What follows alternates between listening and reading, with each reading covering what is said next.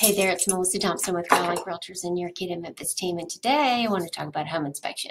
So if you're in the market for a house this year, you know, a lot of people are, you're hearing about people waiving inspections. I think that's an awful idea, honestly.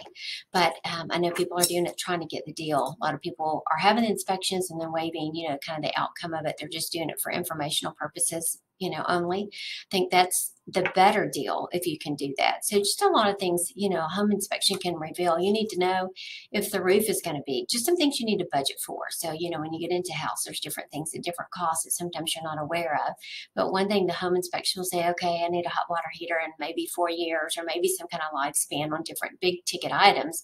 So you'll know that you need to start saving for those whenever that, that time comes. And then again, just to know what any other defects or small things, just anything that will surface just from a home inspection. You need to know what you're buying. You hate to have the biggest purchase of your life and you don't know, you know, the details of what that is. So just talk to your realtor about that. Just say, you know, I want to have the inspection, but if you want to waive it, you know, whatever you need to do, whatever you feel like you need to do, but don't, you know, forego the inspection because it's a lot of great information.